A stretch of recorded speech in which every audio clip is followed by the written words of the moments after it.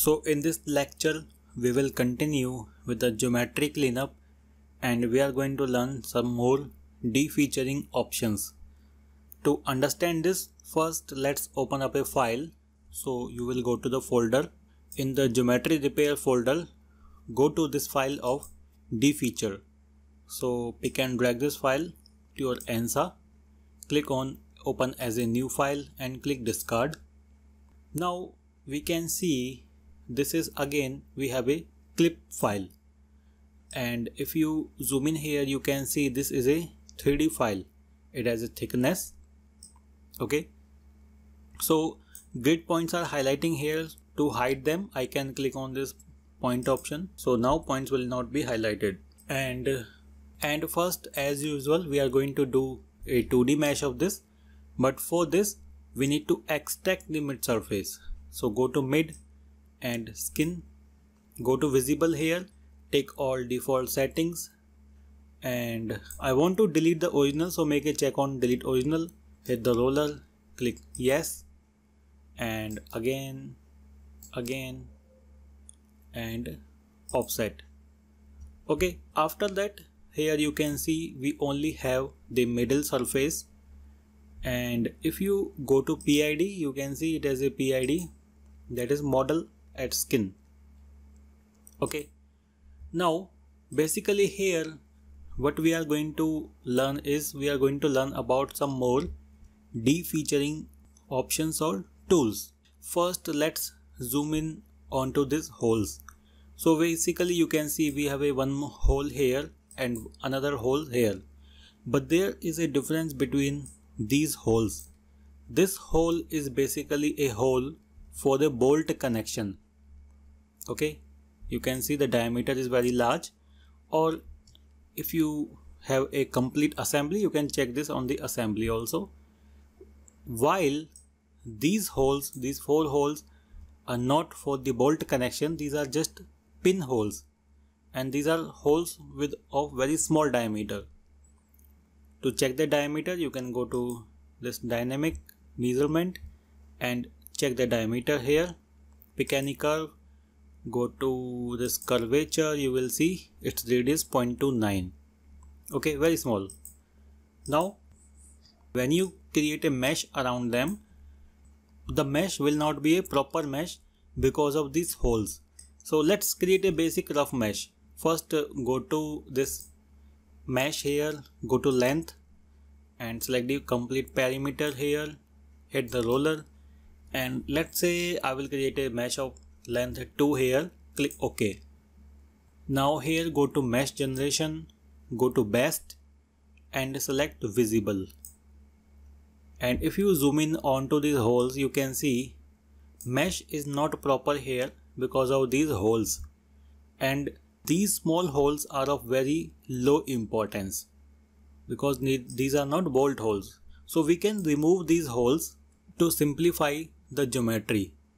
Okay, so click on this and go to erase, click on visible. Mesh will be erased. So we can remove these holes.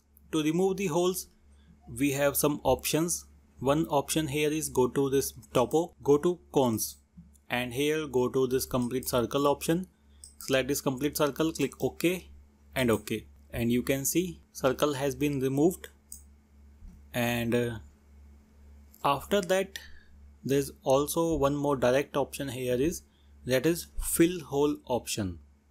Click on this and we just have to directly select the hole so select this complete hole click ok. You can see hole is removed. Again here you can select multiple hole and ok. You can see hole is removed. So that is the advantage of this command. It doesn't uh, leave any existing cutting lines or cut now if you want to remove this cut go to cut make a right click. You can see it is not deleting but the color has turned into orange color. It means this line has suppressed it has not deleted. So make a right click once again. Go to this complete circle. Okay. It is not selecting so we have to select section by section. Right click. Again and again. Like this. Okay so this has suppressed so press escape So this is the first way of defeaturing that we have to remove the extra holes that are not needed. Now let's zoom in onto these fillets here. You can see it has very small fillets. Similarly here these fillets are very small and uh, these uh, because of these small fillets our mesh will be a very smaller mesh.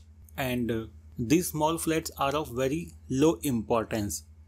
So we can remove these small fillets that are not needed to simplify our geometry. For this we have a command here that is called dash. go to this dash you will see divide face and dash command. Go to dash here okay?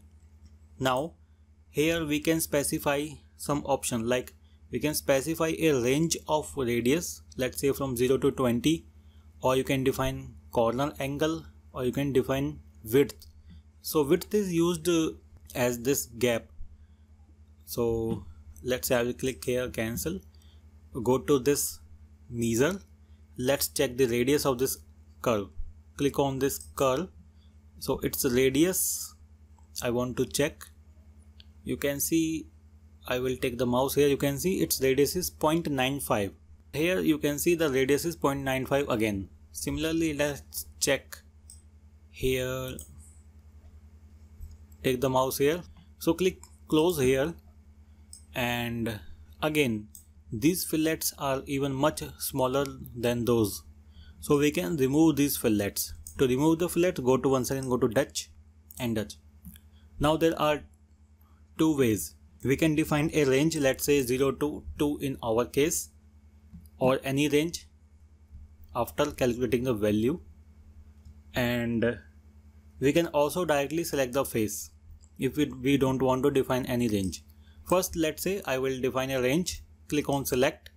Now software has selected the fillets within this range we have highlighted you can see all these fillets. If you want to remove any fillet here you can make a right click here. Let's say I will right click here. Okay? And hit the roller. Now it is asking delete fillet or keep. I want to delete the fillet or you can see existing fillet. Okay? So click ok now close. Now let's see what happens you can see this fillet has been removed and a corner point has been created. Similarly, here you can see fillet has been removed, a corner point has been created. And similarly in this section also. So this basically this orange line represent the suppressed line. It will not take part in the meshing. Okay. So now once again zoom out and again let's go to this option again. Go to dash and dash. Let's say this time I don't want to define any range. I will directly select a face and hit the roller. Now it is showing one preview and uh, it will ask whether I want to keep the fillet or delete I want to delete the fillet because that extra surface is of no use for us. Click OK. And now you can see fillet has been removed. Now one more thing is many times it may happen that this command does not work properly for us. In that case what we are going to use is the middle line option. For that it is a kind of manual work for that we need to go to this curve option Go to middle option. Select the first line, hit the roller, select the second line, again hit the roller. You can see at exact midpoint another line will be created. So I will split this face with respect to this line. For this I will have to use project option. So select this line and hit the roller then select this face hit roller. So this line or this fillet has been splitted at exact center. Now I don't want these two lines. If you use the cut option, you can see click here, right click here, this will turn into orange because these are CAD lines. We can now directly delete them. This will be suppressed. Okay. Now if you try to do the mesh here see how change is the mesh. So go to mesh and once again go to mesh generation go to best go to visible. Okay we have to select proper length of the mesh. So go to length select this complete perimeter hit the roller insert value 2 here click ok so once again we need to do the mesh. So go to best visible. And now you can see the mesh is proper from here and again from here similarly here after removing the fillet mesh has been improved. Similarly here we have done the manual work but still mesh is better. So in this way you can use the D defeature options to improve the mesh quality